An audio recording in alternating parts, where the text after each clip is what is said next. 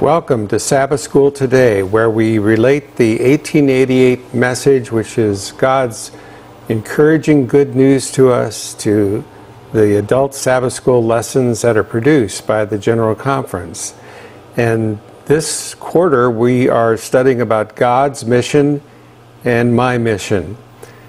We begin with prayer. Father in heaven, thank you for this wonderful time that we can spend together in reflecting on the good news of the gospel related to the Sabbath school lessons. We pray this in Jesus' name. Amen.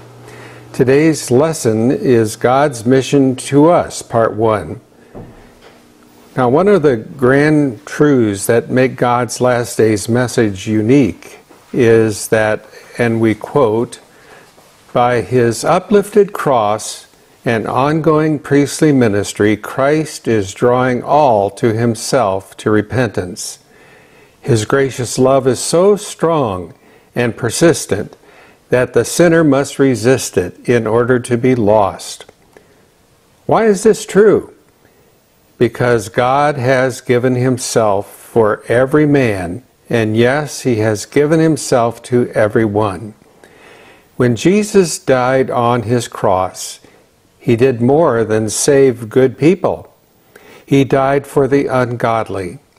And when we were yet without strength, in due time, writes Paul, Christ died for the ungodly. Romans 5 6.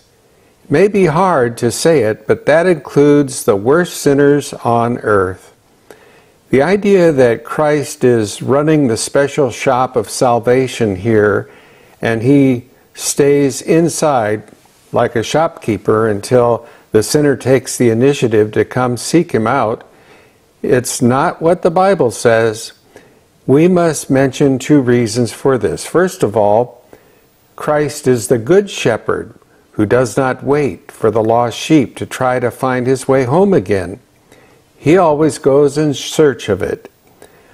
Jesus said, I am the good shepherd. The good shepherd gives his life for the sheep. John 10 11.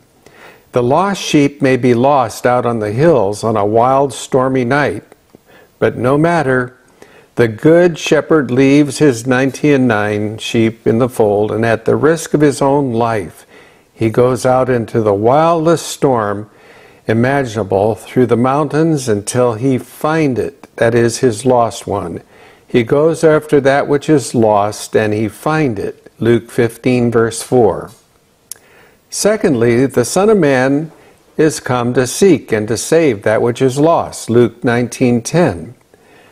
Now don't imagine that you can save yourself or that you have grown up on the night's, uh, right side of the railroad track so you are naturally almost saved on your own. If the Lord were to leave us to ourselves, we would be hopelessly lost. But the Son of Man is come to seek and to save that which is lost. And think of a shepherd of sheep. He's had a hard day, he's tired and hungry, and his wife has uh, cooked his favorite roast for supper. But as the count, as he's counting his sheep, he finds that one is not there, and it's out somewhere in the mountains. And while this storm is brewing, she says, Come and rest and eat your supper. You have 99 sheep are, you, are these not enough for you? But he just can't rest and eat. The one sheep is lost. So out in the wild storm he goes, maybe looking all night cold and hungry. He must find that one sheep. And who is it? Why, it's you and me personally. Natural human love goes in search of God. All the heathen religions are based on the idea of God being about as uh, hidden and elusive as a cure for cancer is. And people imagine that he's playing hide and seek and has withdrawn himself from human beings. Only special ones are wise or clever enough to discover where God is hiding. There are millions who go on long journeys to Mecca or Rome, or Jerusalem, or other shrines, searching for God. The ancient Greeks outdid all of us in building magnificent marble temples on their highest hills in which they felt they must seek Him. So again, agape, God's kind of love, is the opposite of this. It is not humans seeking after God, but God seeking after man. The Son of Man is come to seek and to save that which was lost. This is God's mission, Luke 19:10. And so the shepherd left his 99 sheep that were safe, and he risked his life to find the one that was lost. In another parable in that same chapter of Luke 15, we find Jesus telling about a woman who lit a candle and she searched her house until she found the one lost coin that was missing. The Spirit of God searched for the heart of the prodigal son and brought him home. And so there's is no story in all the Bible of a lost sheep required to find his shepherd. And so this is God's mission to us, to this one lost world.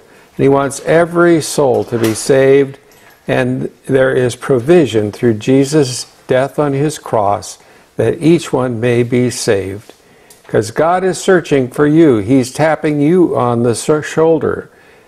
And while it is today salvation, respond to Him. Dear Father in heaven, what a wonderful thought that we are not alone on this earth, in this uh, planet of sin but you are with us and you are seeking us. And may we turn and seek you while you are uh, out for us. We pray this in Jesus' name. Amen.